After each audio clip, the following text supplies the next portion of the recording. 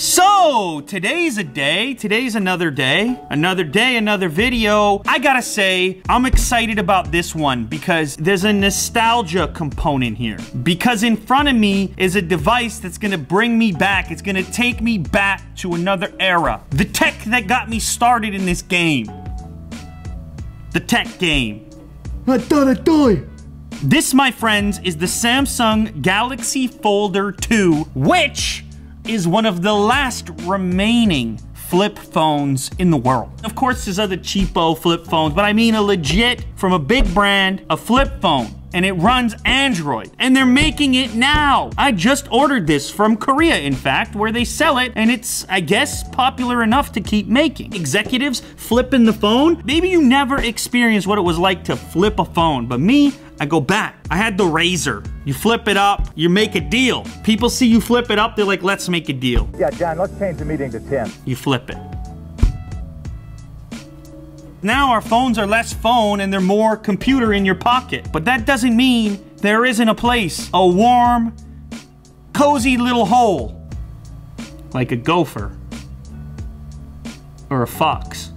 Did you ever see that Wes Anderson movie with the fox in it? Oh! Quite good. It's a 16 gigabyte phone. Let's flip it around here. 3G, 8 megapixel camera, a bunch of Korean writing, 16 gigabytes of memory. They list the size of the display in millimeters, 96.6 millimeters. Quad core processor, okay. I need a knife, which I moved like an idiot. Such an idiot. This is uh, this is historical. It's like uh, this will be in a museum one day. The last of the flip phone. Okay, actually, well then. Oh my. It looks like a display, but it isn't. It's plastic. We have a volume rocker over here, camera on the back, speaker, flash, micro USB on the bottom, no fancy Type-C connector. Oh, now isn't there something satisfying about that? A physical keypad. I need to make a business. That's huge. That feels so unusual nowadays. You got the real estate, put it in escrow. I'll pay cash. This is a touchscreen up here, so you're still, you're tapping away, but then you have this directional pad and dedicated keys. So you could type out a text old-fashioned style with the T9, click, click, click. Man, I used to know people that were rapid fire with the T9. But of course you can reach up like this and you can type on screen too. The headset, but this device does not include a headphone jack. You need a micro USB headset, a micro USB cable, a power brick, and adapter. Remember the days when a battery shipped separately and you installed it yourself? How exciting. Take this back panel off, a SIM card slot, and also a micro SD card slot. Big fan of that. Now the battery is 1950 milliamp hours. So not super huge. You know, I could see this device being popular amongst senior citizens, maybe? Hello? What about people who are, are kind of rugged with their devices? It's kind of like vinyl. You remember, Jack, when vi vinyl's making a huge comeback right now? It's the nostalgia factor. I said angry Willie do. Angry Willie do. And he's coming for you. Do, do, do, do. Ooh, powered by Android, an Android flip phone. The Korean writing here, again, this is popular in other parts of the world, not so much in North America. And look at that, it's proper Android. And I noticed something really cool immediately. There's an outdoors button. Genius! Why isn't that on other devices? Just a quick tap and it triggers a super bright mode which lasts for 15 minutes. Now the other thing I noticed having stared at it and held it up to my face is it's huge. That is a massive, it's a massive undertaking holding that thing up, but it is a flip phone and, and that's kind of cool. You have a choice. You can use the keypad or you can go directly to the display. You see, I could just tap up on here, scroll through like that. I've got my notifications as well as my quick toggles over there. I can go back home like this. Back button, and multitasking button. This is essentially an entire Android phone, just in this top part and this section right here. You can still use this pad and not touch your display. You don't get any fingerprints up there. I guess that's kind of cool. Now, otherwise, you have access to all the usual apps. I can go, I can watch YouTube on here. Now, the keyboard is obviously tiny. You can see with two thumbs, I can kind of line it up like this, and I can type reasonably well here. A nice landscape viewing experience. Here's a side benefit. Look at that, Jack. It's like its own stand. Apple cereal. Oh. We gotta have Bixby too. We gotta be in the mix. Well, here's the thing. Myself and almost everybody else that I've spoken to regarding this thing. The speaker fires to the back here, but I'd say it's comparable to like the S8 or something like that. I want to launch the camera app. I'm going to shoot this in landscape mode. That doesn't look too fantastic right now. Yeah, it's a little bit blown out. Can I make some adjustments to it or what? Not really, hey? The only thing I can adjust is video resolution, very high, high, or VGA. And then I can also flip the camera around so you can take a look at Jack. There he is. Hi, Jack. How's it going, man? Now, the quality on this front one, not the best I've seen. Let's do a quick snap here. Hmm.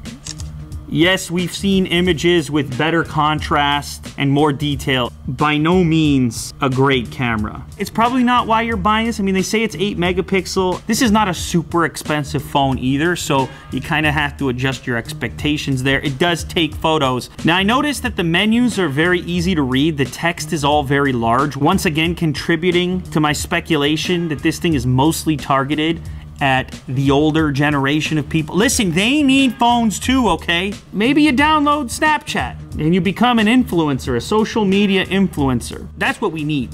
We need more senior citizen influencers. I'm all fed up with the young influencers.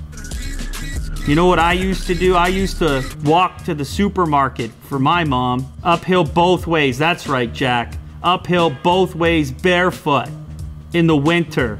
Now, of course, we can just go ahead and, and, and make a phone call as well. We can we can quickly launch our contacts here. We can just start we can just start typing a number. You could just go in here, 416, you're dialing. All right? You can pick up the phone and call. Use your voice like a human being. Well, it's your Grandpa Lou. How do I sound, youngster? Hi. What do you think? Can we can we get a business deal done or what? Can we hash out the details? Yeah, definitely. Can you sign on the dotted line?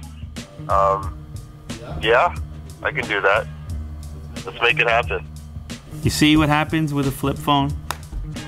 All right, guys, you get business done. I'm not on Instagram.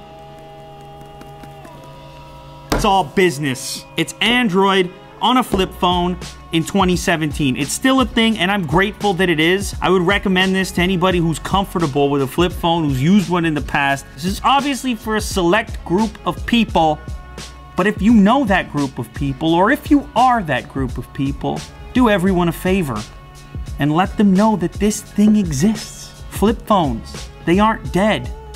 Question number one of the day from Nas TGM. Will you ever do a Jack face reveal? I'm not sure exactly how I would do that. I mean, I'm not Jack, obviously, but I will say, at 10 million subscribers, you may learn a little something more about Jack. So tell your friends to subscribe because we're almost there. Here's one from Marked2429. What was your first console? The very first game console I had was actually one that my parents had before me. It was called Intellivision. Very bizarre. The controllers were kind of like old school corded phones. They, they looked like phones, sort of. They weren't, of course. They had a number pad on them, though.